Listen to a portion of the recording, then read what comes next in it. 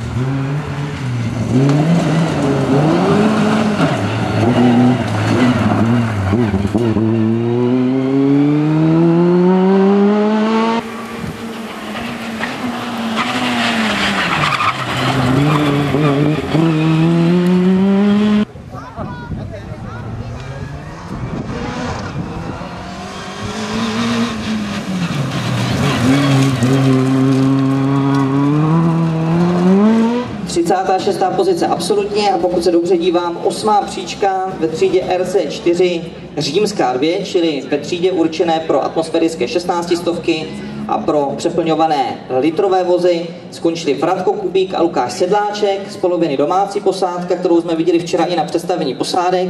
Lukáši, jaká pro tebe ta, tuším, sedmá účast, nebo šestá účast tady ve Výškově byla? Pro mě byla samozřejmě se úžasná, ráno jsme bohužel trošku zaspali na první rzetě a pak jsme doháněli, ale byly to krásné souboje s, se soupeři ve třídě a musím poděkovat pořadatelům za krásnou soutěž a počasí. Počasí to se povedlo, soutěž taky. No a jaké s Vratkem budete mít plány do dalšího průběhu sezóny? Dokončíte sprinty nebo je to otevřené? S Vratkem máme v plánu momentálně Pačejov za dva týdny a uvidíme, co v Setín.